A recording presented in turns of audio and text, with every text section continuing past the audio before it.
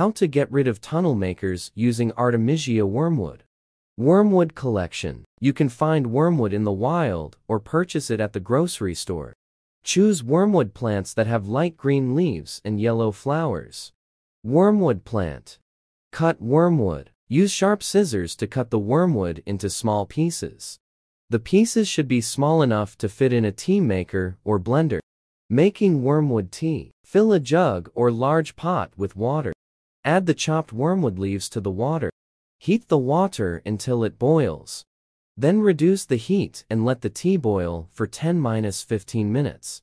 Strain the tea. Use a strainer to filter the tea. Pour the tea into a bowl or cup. Spray the tea. Use a spray bottle to spray the tea around areas of tunnel maker rat activity. Repeat the process as needed.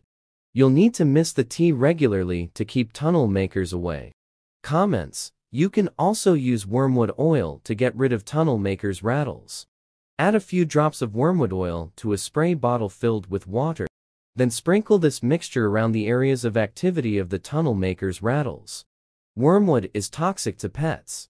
Avoid spraying tea or wormwood oil in areas where pets can reach. Benefits of wormwood to get rid of tunnel makers rattle. Wormwood is a natural substance that has insect repellent properties. Wormwood contains an essential oil called thujone, which is thought to cause discomfort to tunnel makers. When you sprinkle tea or wormwood oil around the activity areas of tunnel makers' ticks, you create an uncomfortable atmosphere for them, which may prompt them to look for somewhere else to live.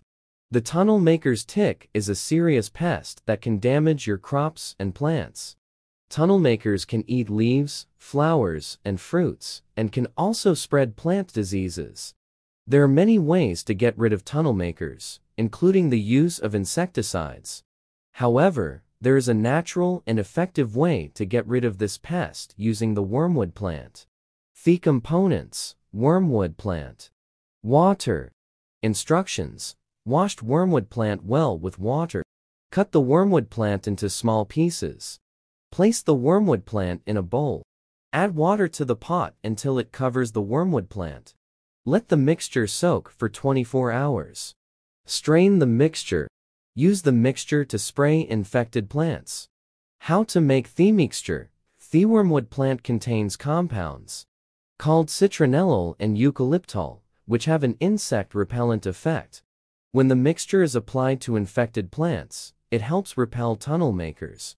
How to use the mixture? Use the mixture to spray infected plants regularly, at least once a week. It is important to use the mixture when the weather is dry so that it does not seep into the soil. If you liked the video, do not forget to like, subscribe to the channel, activate the bell, and share the video.